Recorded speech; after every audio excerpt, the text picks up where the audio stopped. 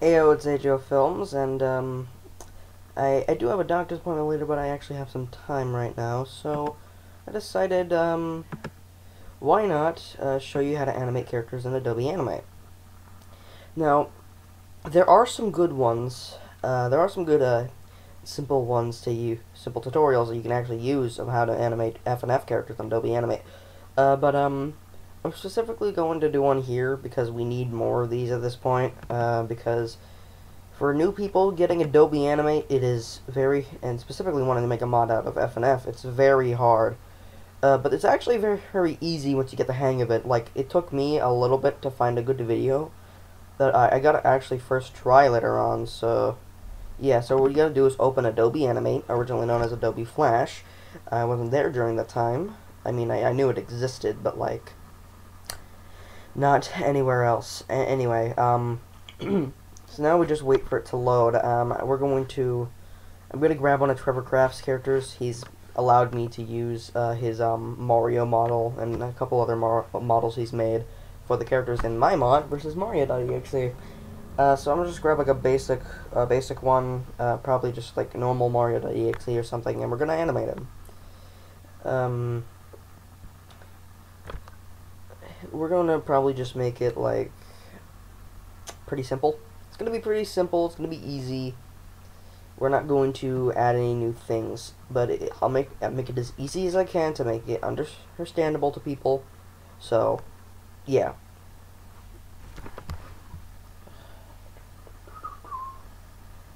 Now we're just gonna wait for Adobe to, um, oh, here we go. Perfect. Don't, don't mind the thing in the background. Don't mind the the thing still loading. This is this is really okay. Um, yes. Because the I'll, I'll just use one of the recovers. Um,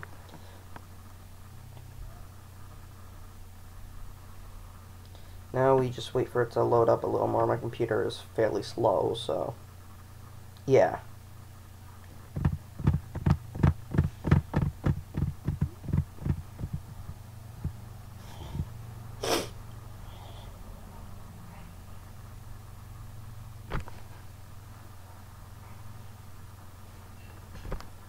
This usually works um, when I'm not recording. I'm guessing it's just not liking what that's happening.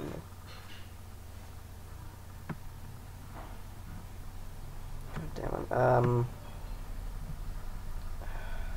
okay, let me try something.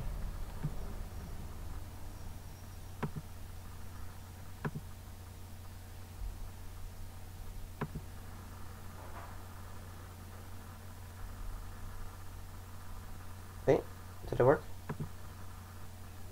Did Adobe is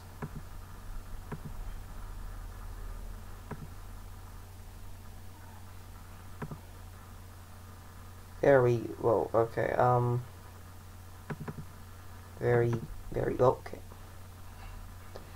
I mean we kinda got it. I have to fix a bunch of stuff again. Go and go put that to the side here. Fix that a little more. Pop this out.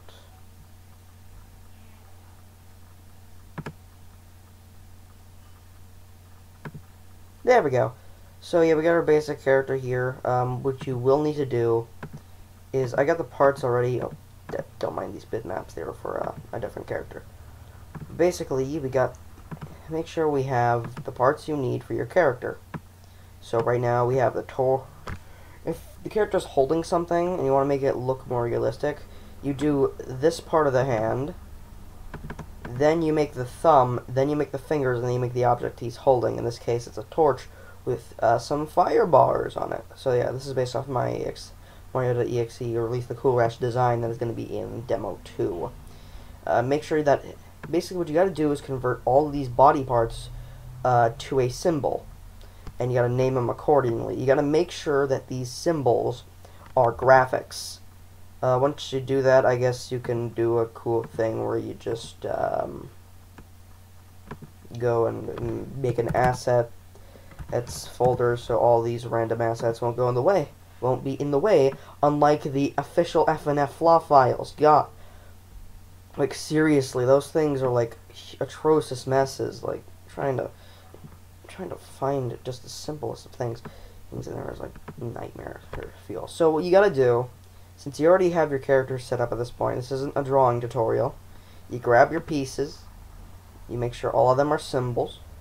So then, you go over, click Insert, click New Symbol, and we'll name him Mario.exe idle. You don't have to call it Mario.exe idle for yourself, for your character. Then we gotta convert it to a movie clip, specifically. So, now we have that here. The layers here. The layers are the main part of the thing. Are like the entire. They what make. They're what makes the animation uh, good. So what you do is you grab your parts. So we go back to scene one over here. We just Control C the hell out of that. Go back to Mario.exe idle. You paste them in. You paste the boy in like where is he? Where, where'd he go? Um, where where? where the, uh, maybe I have to paste this. No. Oh, there he is. Okay, so now here's a semi-annoying part, but it has, it has to you have to do this to get the animation to work. So let's start with layer 1 and rename it to head. There.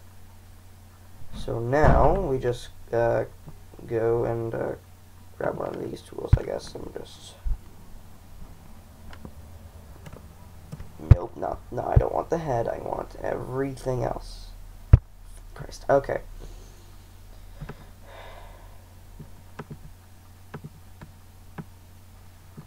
So we just grab, no, we just, no, we just grab, here we go. So we just copy these, I guess, and we delete that. So next we go to layer 2, rename that to body. We go down here, paste it in, and put it back. So now, these are two separate layers. This is an optional layer, which goes over the head, called face. It's easier to have the different poses where they're speaking in different ways uh, for the fluff file. So, that's what you gotta do. You gotta go back to head. Um, let's just go and uh, just this uh, block that. We're gonna go over to object and do this. Okay. Head. Okay. Well, I actually gotta change this back to a symbol. Shoot. Head. Go. So now, let's just go over here. We grab these eyes and eyebrows. Face. Click OK, we go back here. Oh, whoops. Fix that. Go back to here. And now, we have our face graphic here. We copy that, delete that there, then we go to the face layer, we go here, and now we have a separate face layer for the face, as well as the body. Now, hopefully you get the gist. We then have to do arms, the arms, as well as, uh, I guess, the fire as well, to make it uh, animate better, I guess. I don't know. So, we do, we grab this, Copy that. We go add a new layer. We go arm one.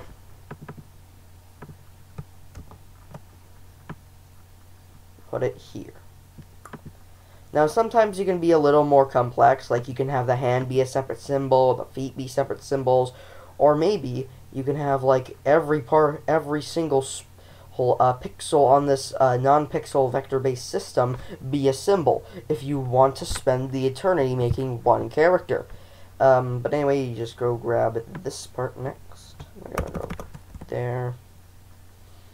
We go here, and we call this one arm. Oh, no. We rename layer 5 to arm 2. We go bring that behind the body because it's behind it. We paste it in. Perfect. Now, we just gotta angle it down so it's here, and then we can uh, move the fire. Fire, we can copy these, uh, though I think uh, I should just use the library for this one.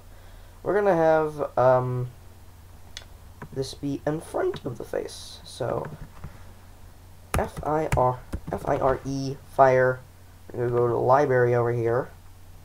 Go to assets. Oh, oops. Move these in assets, actually. Okay, So now we go to assets over here. We go find uh, fire over here. And then there you have it. You have everything in a separate frame.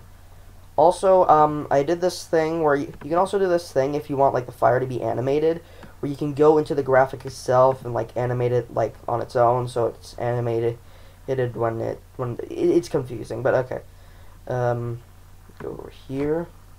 What's that? So now, we actually get to animating. So when it comes to an idle, there are three basic parts.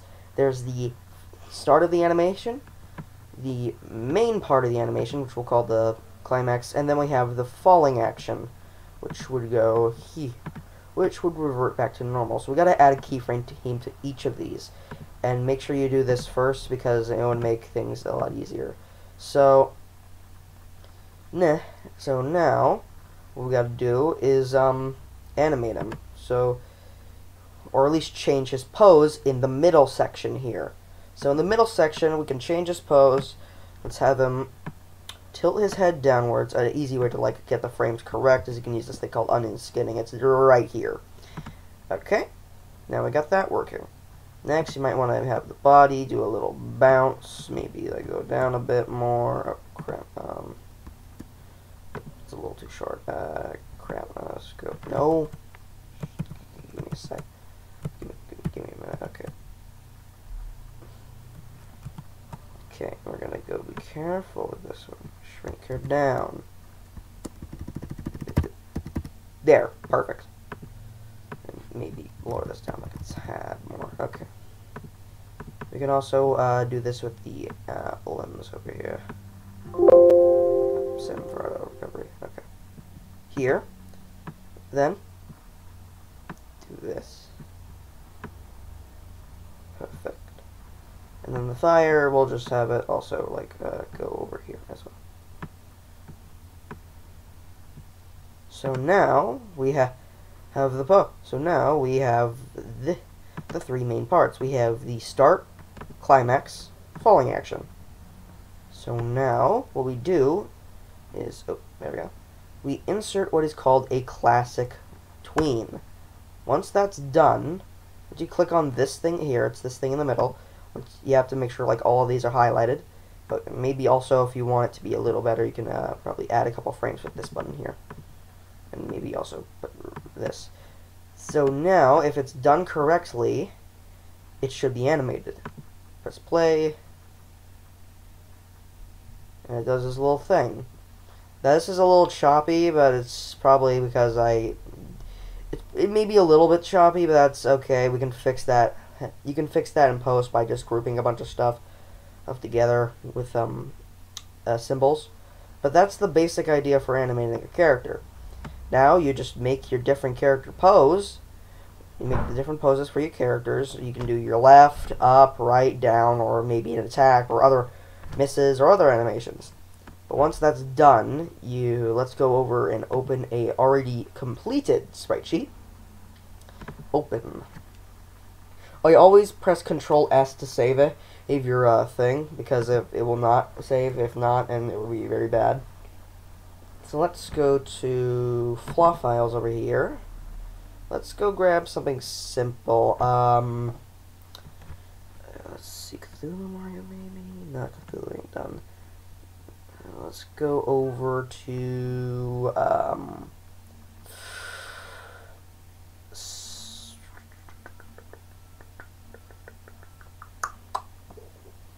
let's go over to Dreamscape Mario. Go to the Dreamscape Mario Master FLA file over here. Let's just don't mind this. I'll just grab one of the already completed characters, Fantario, because I haven't actually made a sprite sheet of it. And this is actually uh, important. This isn't actually like this works with every type of variation of like Psych Engine, uh, Yoshi Engine, every engine actually. He, has uh, most of these using Adobe Animate. So we'll go to Fantario. Oh, Fantario isn't completed. Never mind. I, I did I do not have a brain. Uh, let's just go over to Dreamscape Mario then. So what you do, go to library, make sure all of make sure all of these are movie clips. Then what you do is you then double click and go over to gener and click generate sprite sheet. Make sure you highlighted all of these before you do that. So once you click generated sprite sheet, you got we got we gotta wait. And then this will pop up. When that pops up, don't worry. you just when that pops up, it loads. There we go. So now what you gotta do, I already have like things in place, so it like automatically does this. So basically, you gotta make sure it's the 32-bit um, PNG. Uh, keep all of these normal, but data format. It ha the data format has to be Sparrow 2. If it isn't, you will not get the XML file, which is the one thing that allows you to actually see the animations in FNF. Once that's done, you uh, pick where you want to want to put the character. You can click browse if you want a different place. Like you can go over to Inkweek BF or here. We can go over here. We got all these guys. You can click save, and once you do, you can click export. And once that happens, it loads stuff up, and then in the designated place, there will be a sprite sheet and XML file waiting for you. And that's the entire ending of this uh, tutorial. So I hope uh, I get to make more um, screen recorded uh, things for you guys this time and maybe better leaks and stuff for my mod and better videos overall. Anyway, um, I will see you in the next video. Uh, goodbye.